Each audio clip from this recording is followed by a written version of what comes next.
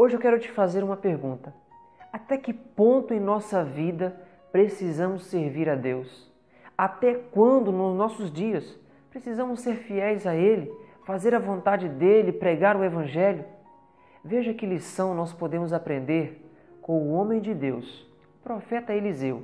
O texto que nós vamos ler se encontra no segundo livro de Reis, no capítulo 13, versículos 19 e a primeira parte do versículo 20. O homem de Deus ficou irado com ele e disse: Você deveria ter golpeado o chão cinco ou seis vezes. Então iria derrotar a Síria e a destruiria completamente. Mas agora você a derrotará somente três vezes. Então Eliseu morreu e foi sepultado. Eliseu aqui estava nos últimos momentos de sua vida, mas nos últimos momentos ele estava trabalhando. Ele estava fazendo a sua função como homem de Deus, como profeta de Deus. Estava dando uma profecia. E o interessante é que nessa profecia ele fica indignado com a incredulidade, com a incompetência daquele rei. Ele não queria ver o povo de Israel, o povo perder, e por isso ele ficou indignado.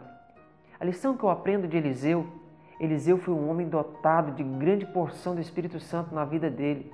Foi um homem tremendamente usado por Deus. Talvez se algum de nós tivéssemos feito um pouco do que Eliseu fez, chegaríamos a uma certa idade e diríamos: Bom, já fiz muito para Deus, é hora de descansar. É incrível como muitas pessoas dizem isso.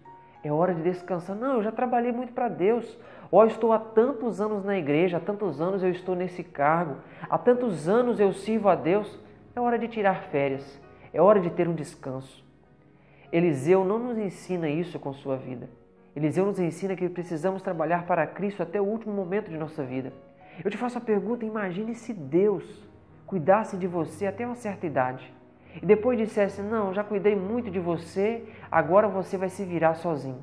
Mas Deus não pensa assim. Deus cuida de nós a todo instante. Se Ele cuida de nós a todo instante, por que nós devemos tirar férias de pregar o Evangelho? Eu e você, queridos, precisamos dedicar a nossa vida a Cristo todos os dias da nossa vida, até descermos à sepultura ou até a volta de Jesus. Estou falando com alguém que está pensando em desistir daquele cargo na igreja, daquele compromisso com Cristo.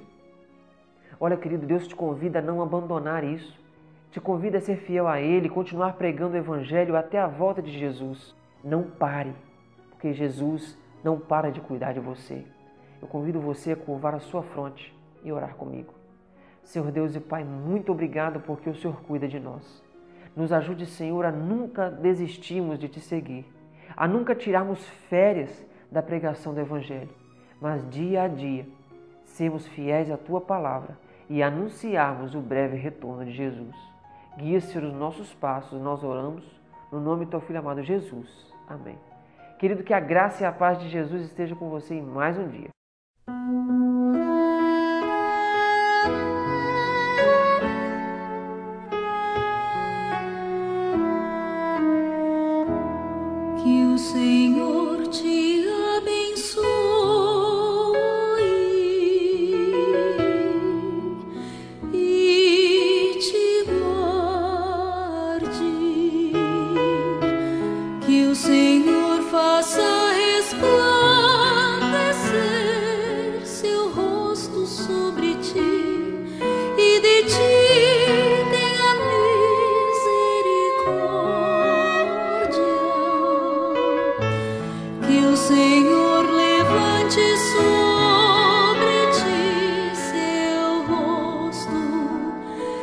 noite depois.